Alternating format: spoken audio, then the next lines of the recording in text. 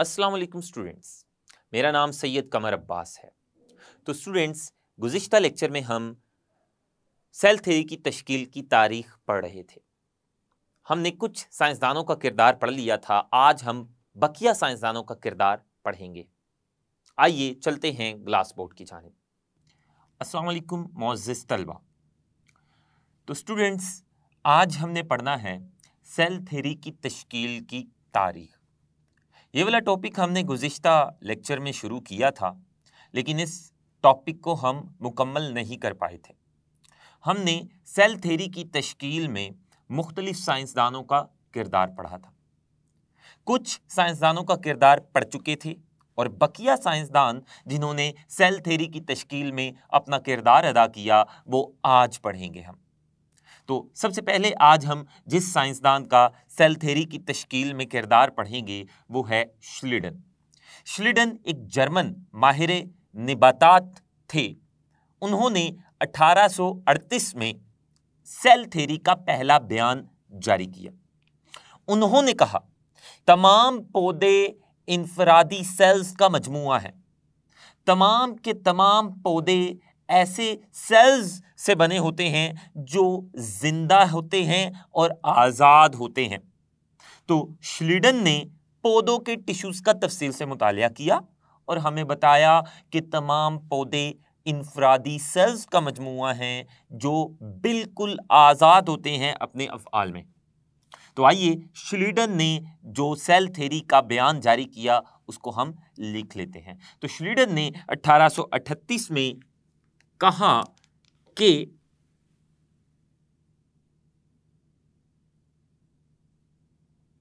तमाम पौधे इनफरादी सेल्स का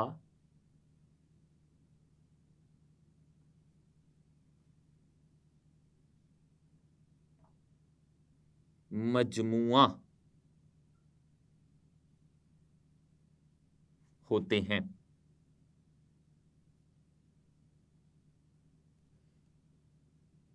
और ये सेल्स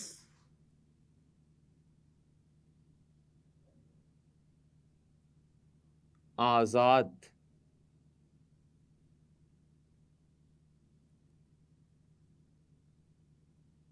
साख्तें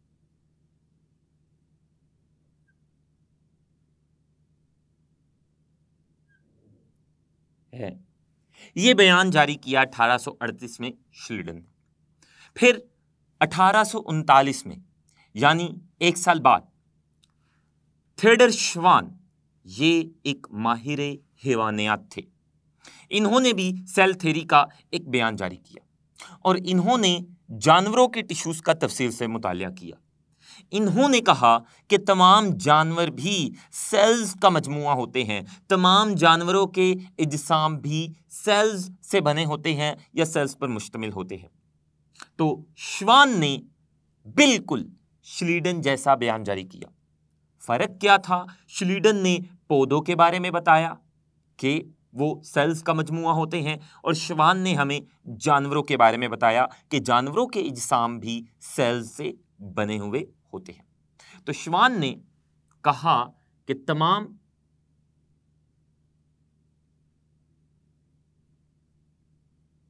जानवरों की इजसाम भी ज़िंदा इनफरादी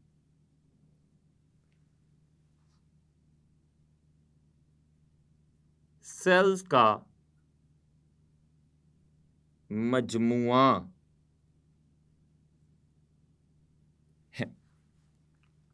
तो ये दो साइंसदान, श्लीडन और श्वान, इन्होंने सेल्स थेरी के बयान जारी किए।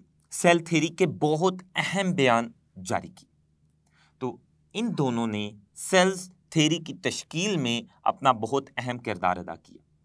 फिर इन दोनों के बाद 1855 ईस्वी में एक और साइंसदान आए, जिनका नाम था Rudolf of Virchow.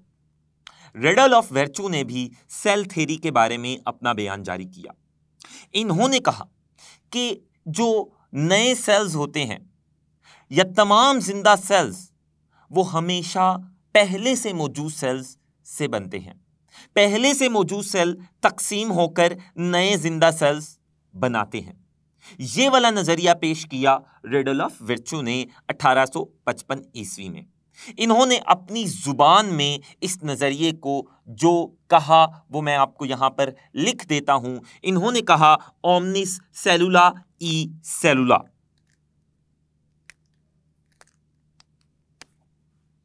omnis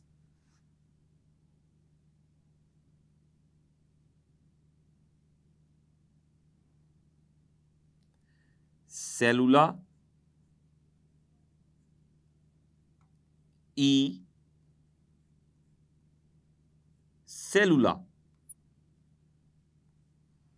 ये रिडल ऑफ़ वर्चो के अल्फाज थे सेल के बारे में सेल थेरी के बारे में। अगर हम इन अल्फाज को उर्दू ज़ुबान में तर्जुमा करें तो वो कुछ यूँ होगा। तमाम ज़िंदा सेल्स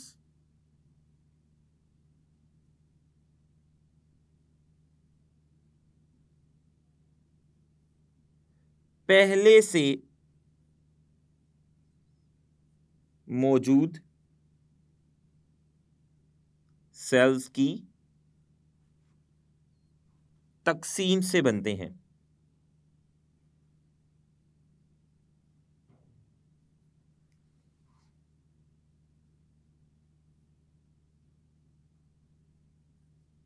ये वाला नज़रिया दुनिया को रिडल ऑफ़ वेरचू ने दिया 1855 ईस्वी में। लेकिन रिडल ऑफ़ वेरचू अपने इस नज़रिए का दिफा नहीं कर पाए। अपने इस नज़रिए का तजर्बाती सबूत नहीं पेश कर पाए। इन्होंने कोई ऐसा तजर्बा नहीं किया जिससे इनका नज़रिया या इनका सेल थेरी के बारे में जो बयान था वो साबित हो सके। फिर इनके बयान के सात साल बाद लाइस पास्टर ने अठारह सौ बासठ ईस्वी में एक तजर्बा किया, जिस तजर्बे से इनका ये जो बयान था कि जो तमाम ज़िंदा नए सेल्स होते हैं, वो पुराने सेल से ही बनते हैं, ये वाला बयान सही साबित हो गया। तो रेडल ऑफ़ वेर्चू का जो बयान था ओमनिस सेलुला, ई सेलुला, इस बयान को लाइस पास्टर ने तजर्बाती सबूत फराहम किया, तजर्बा करके ये साबित कर दिया कि रेडल ऑफ़ वेर्चू का जो बयान है, वो बिल्कुल दुरुस्त है। तो लाइस पास्टर ने भी सेल थेरी की तश्कील में अपना किरदार अदा किया। तो लाइस पास्टर ने क्या कहा? इन्होंने तजर्बा किया, जिस तजर्बे से रेडल ऑफ़ वर्चू का ये वाला बयान सही साबित हो गया। तो लाइस पास्टर ने इन्होंने वर्चू के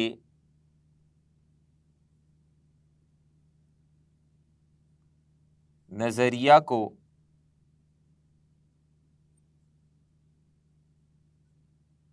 तजर्बाती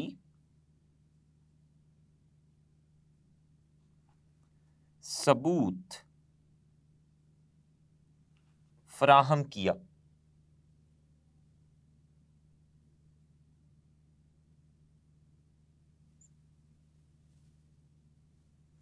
तो ये मुख्तलिफ़ साइंसदान हमने पढ़े, जिन साइंसदानों ने सेल थेरी की तश्कील में अपना अपना किरदार अदा किया। सेल थेरी बायोलॉजी में एक बुनियादी इल्म है, एक बहुत बुनियादी इल्म है सेल थेरी बायोलॉजी में। और इस इल्म ने बायोलॉजिकल रिसर्च के मुख्तलिफ़ मैदानों में अपना किरदार अदा किया है। इस इल्म के बायोलॉजिकल रिसर्च के मुख्तलिफ़ मैदानों में बहुत अहम और वसी असरात है। सेल थेरी का जो बाकायदगी से आगाज़ करने वाले साइंसदान थे, वैसे तो वो श्लीडन और शिवान थे, लेकिन बाद में आने वाले ज़मानों में, बाद में आने वाले ज़मानों में मौजूद साइंसदानों ने भी अपना अपना किरदार अदा किया सेल थेरी को हतमी शक्ल देने में।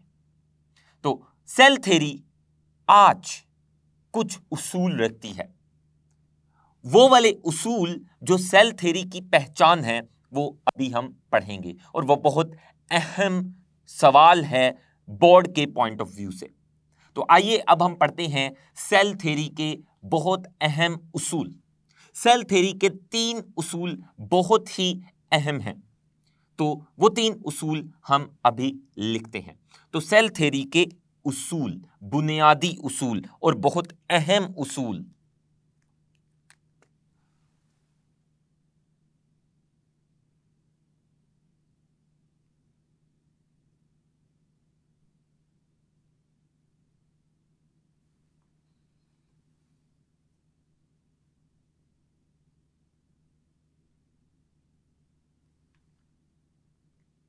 तो सेल थेरी के तीन बुनियादी उसूल हैं। सबसे पहला, वो ये है कि तमाम जानदार एक या एक से ज़्यादा सेल्स पर मुश्तमिल होते हैं। कुछ जानदार ऐसे हैं जो सिर्फ़ एक सेल पर मुश्तमिल होते हैं और ज़्यादातर जानदार ऐसे हैं जिनके इज्साम बहुत ज़्यादा सेल्स पर मुश्तमिल होते हैं। तो ये सेल थेरी का पहला उसूल है। क्या? कि तमाम जानदार एक या ज़्यादा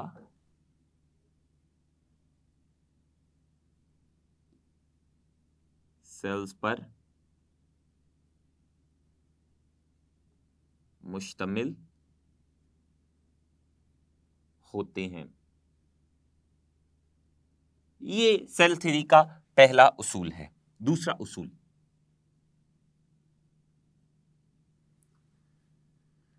सेल्स सबसे छोटी ज़िंदा चीज़ें हैं और तमाम जानदारों की तंजीम की जो बुनियादी इकाई है, वो सेल है।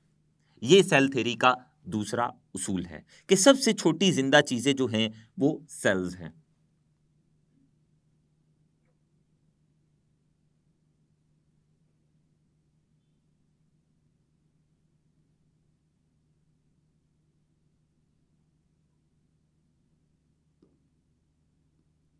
सेल सबसे छोटी ज़िंदा चीज़ें और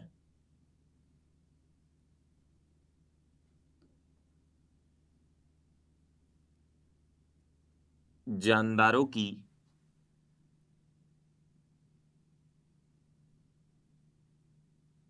तंजीम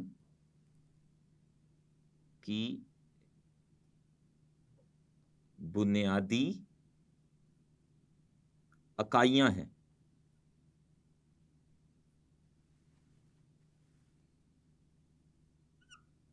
तमाम जानदार, उनकी जो बुनियादी इकाइयाँ हैं, जिनसे उनका जिसम बना होता है, वो सेल्स है। ये था दूसरा उसूल।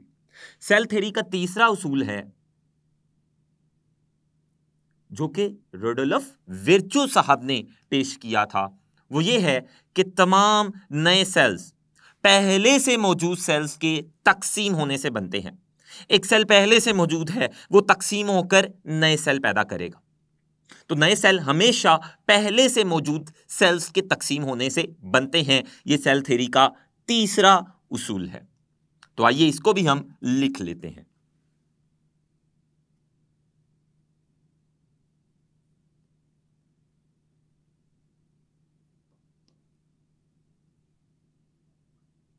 तो नए सेल्स हमेशा पहले से मौजूद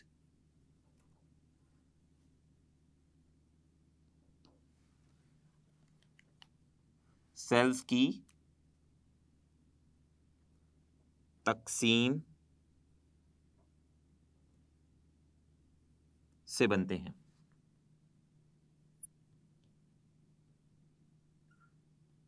ये है सेल थ्योरी का तीसरा और आखिरी उसूल। अब हम सेल थ्योरी की इस तफसील से मुताल करने के बाद हम कुछ सब सेलुलर या ए सेलुलर पार्टिकल्स का भी हम एक ओवरव्यू लेते चलें। तो अब हम थोड़ा सा पढ़ेंगे सब सेलुलर या ए सेलुलर पार्टिकल्स के बारे में।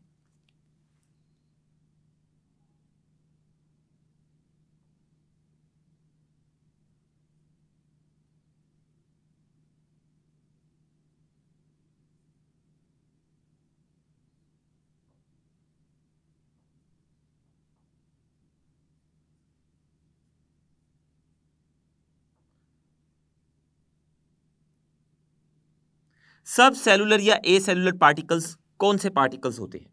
ये ऐसे पार्टिकल्स होते हैं, ये ऐसे जर्रे होते हैं जो सेल्स से नहीं बने होते।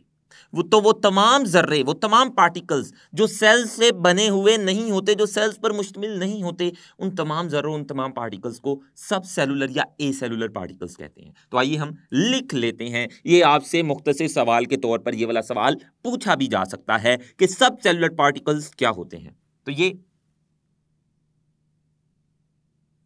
ऐसे पार्टिकल्स या जर्रे होते हैं जो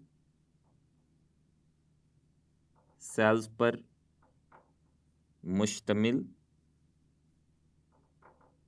नहीं होते। और हम जानते हैं कोई भी ऐसी चीज़ जो सेल पर मुश्तमिल नहीं होती, उसमें ज़िंदगी मौजूद नहीं होती। तो इसकी एग्जाम्पल्स इनकी मिसालों में हम लिख लेते हैं वायरसेस वायरसेस सब सेलुलर पार्टिकल्स हैं। इसके अलावा प्रायोन्स इसके अलावा वायरॉइड्स।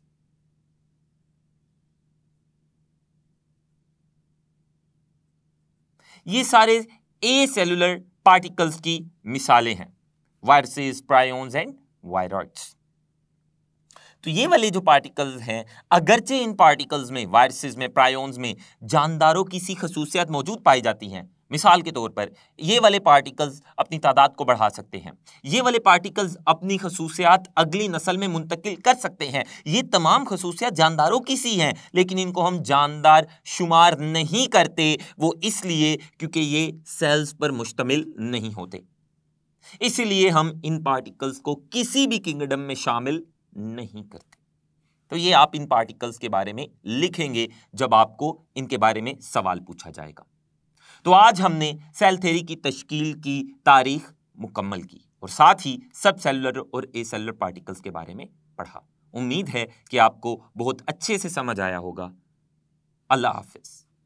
तो स्टूडेंट्स आज हमने सेल थेरी की तश्कील की तारीख मुकम्मल की। इसमें हमने मुख्तलिफ़ साइंसदानों का किरदार पढ़ा इस थेरी की तश्कील में और हमने सेल थेरी के अहम उसूल पढ़े और हमने सब सेलुलर और ए सेलुलर पार्टिकल्स के बारे में तफसील से पढ़ा। इनशाला आने वाले लेक्चर्स में हम सेल की मुख्तलिफ़ साख्तों का मुशाहिदा और उनका मुताल करेंगे। तब तक के लिए अल्लाह हाफिज़।